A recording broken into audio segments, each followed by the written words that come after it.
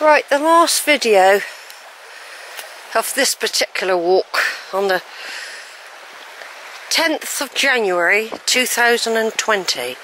I've done quite a few videos actually, a lot more than I thought. But not as many as I usually do, so put it that way. I've had to... I managed the streams. Uh, in the end I tiptoed across one. There were stones just underneath. Um, and it actually gave my boots a good clean.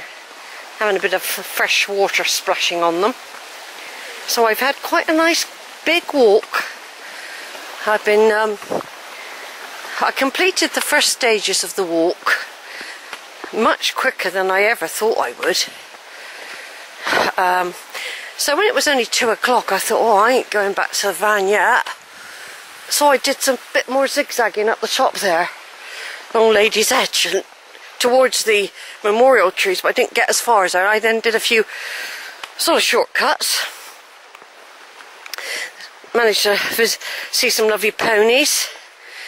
And then I went down this coombe, which I need to find out the name of. And there was a family of deer there waiting to greet me. Um, at that particular time, the sun was very bright and, and and it blinded me, so I couldn't focus my camera. But I seen them running, but I missed all that. But then they hung around. They said, "It's all right, Sheila we'll just sort of stand around here and you can take pictures of us and do a video. So they did. They sort of were jumping around everywhere and then they just settled and they waited until I completely gone. They kept watch, kept watching me. They were very similar to another group. Whether it was the same ones, I don't know, but it was really great to see them, you know. And they look so healthy the difference between this year and last year is amazing. They look well fed, they didn't look tickified.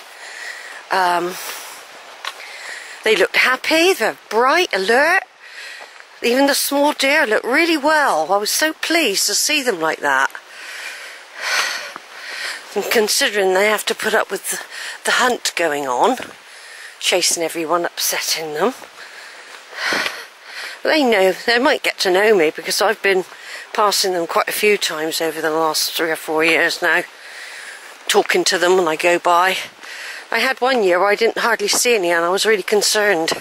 I would only ever see them from a huge distance. But the musical stream is following me as I go back towards Holford Green now. I've many memories here. As I've told you on all my other videos. But if I have a break from here, and say I decide to only come here once a year, imagine that, or maybe miss a year. I know I'd feel very, very emotional when I did revisit. I know I would, because I did. I've had such great times exploring. I still don't really want to stop. It's just that circumstances could take Alberta away from me. And I can't visit here without car.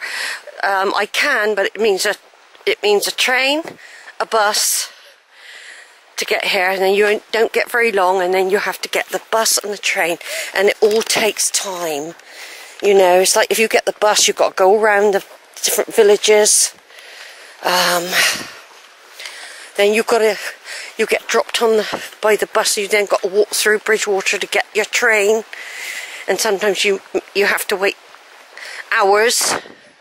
Sometimes it don't come. You have to wait hours and hours.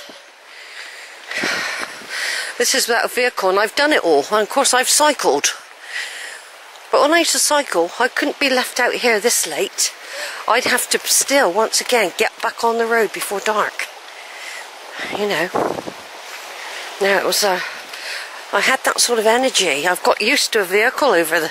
This is the seventh year with Alberta, going into the seventh year with her and um, it's been lovely having her. I don't use her that much, not really. Not like you do if you've got a car and you go everywhere in it. You know, go shopping in it, you nip up the road, and I don't do none of that with Alberta. She gets her oil change and her, her heating stuff. You know, what's that I can see? Is that a dog? Let me just Zoom in a minute.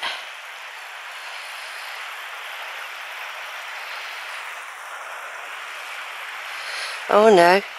God, I tell you, don't play tricks on your eyes when you're walking along. I've seen that look like a dog. I've seen something that looked like a cat earlier. And I have seen deer here. I have seen deer here. I've been very cosy today in my new in my clothing. I'll just let you have a look. I've got my waterproof trousers on. These are my winter boots. I didn't wear them at all for two years. So they've kept some pretty good, you know, they're in pretty good condition. And these are the ones that you put polish on. Uh, basically, I've um, if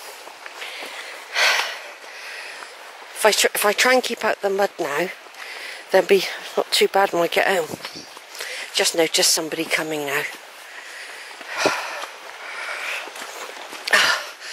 I always video this bit though.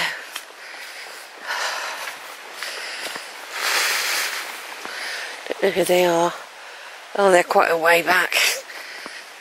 But they're walking very, very fast.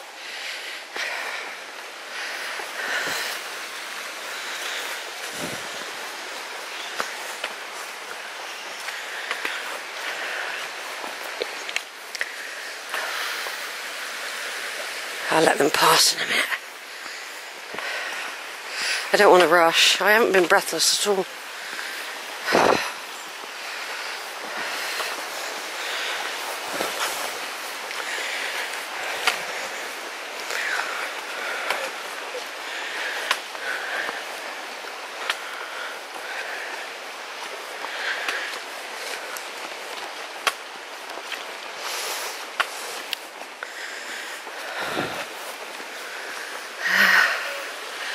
All the trees. I'll come to the gate in a minute and then there's the roundhouse.